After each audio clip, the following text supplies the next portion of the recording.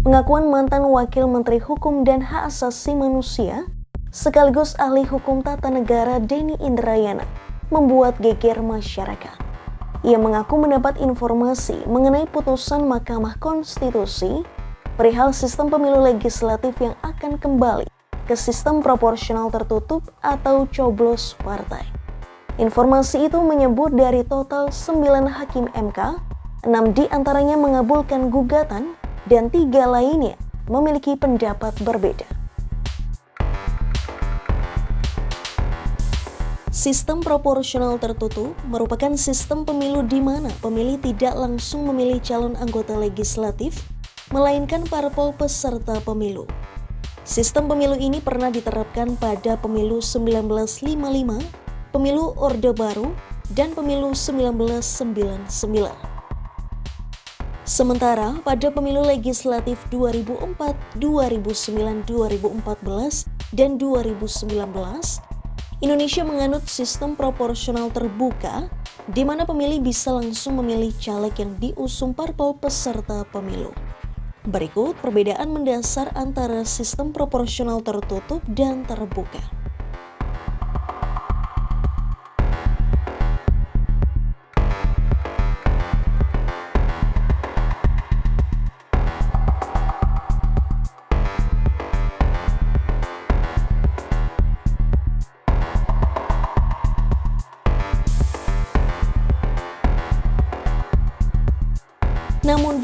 Pernyataan Denny ini dibantah juru bicara MK Fajar Laksono. Ia menegaskan jadwal sidang uji materi sistem pemilu baru sampai ke tahap penyerahan kesimpulan atau belum mencapai pembahasan keputusan. Barulah setelah tahap penyerahan kesimpulan akan dibahas dan diambil keputusan dari majelis hakim. Sementara terkait dugaan kebocoran informasi putusan tersebut, MK menyatakan bakal membahasnya secara internal.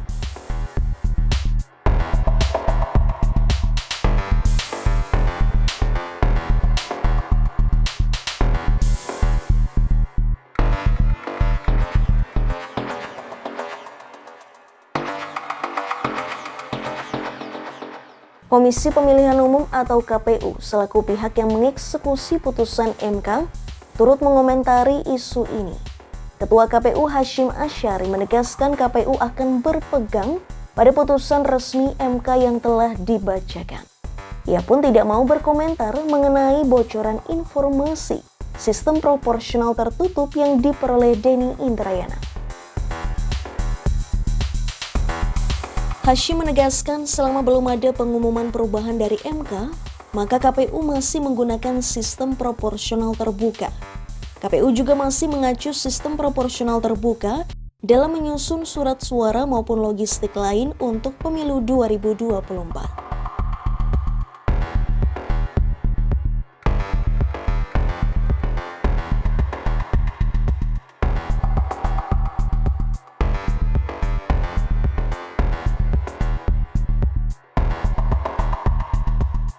Jauh sebelum isu dugaan kebocoran putusan MK ini mencuat, Sebenarnya wacana sistem pemilu proporsional tertutup sudah menuai pro kontra.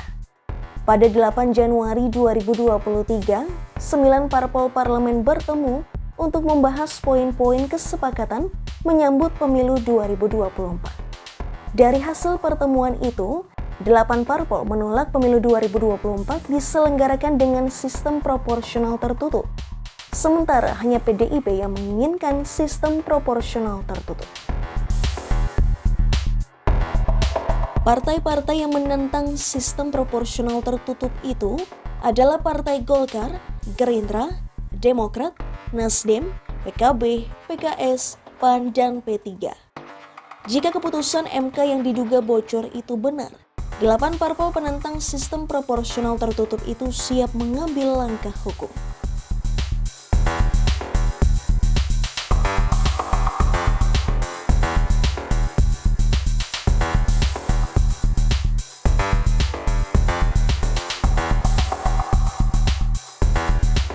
Ketua Majelis Tinggi Partai Demokrat Susilo Bambang Yudhoyono atau SBY juga menyampaikan dirinya tidak setuju dengan perubahan sistem pemilu.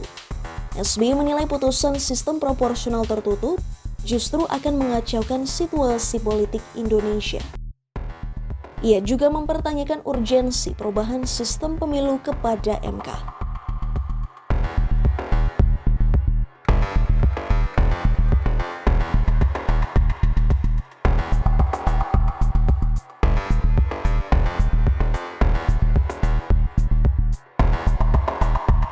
Di sisi lain, PDIP menyesalkan sikap Dening Indrayana yang menyebarkan putusan MK yang diduga bocor.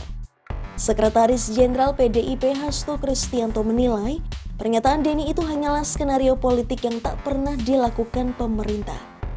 Namun PDIP siap jika pemilu digelar dengan sistem proporsional terbuka ataupun tertutup.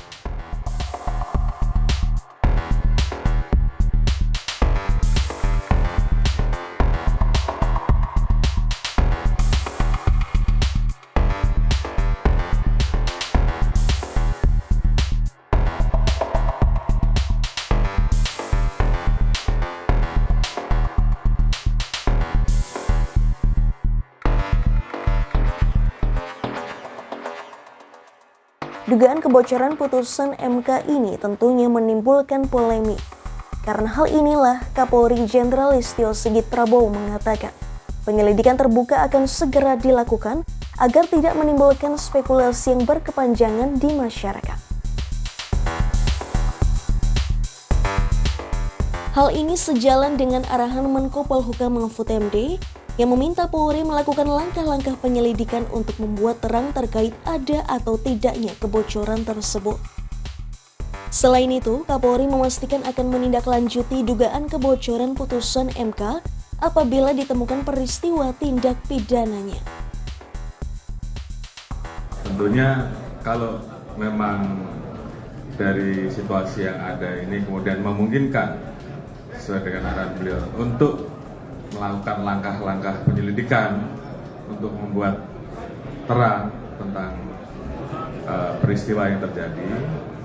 Tentunya kami saat ini sedang merapatkan untuk langkah-langkah yang bisa kita laksanakan untuk membuat semuanya menjadi jelas. tentunya kalau kemudian ada peristiwa pidana dalamnya, tentunya kita akan mengambil langkah. Terima kasih. Demikian kabar terkini soal dugaan bocornya putusan MK mengenai sistem pemilu legislatif. Simak terus informasi terupdate lainnya hanya di kompas.com, jernih melihat dunia.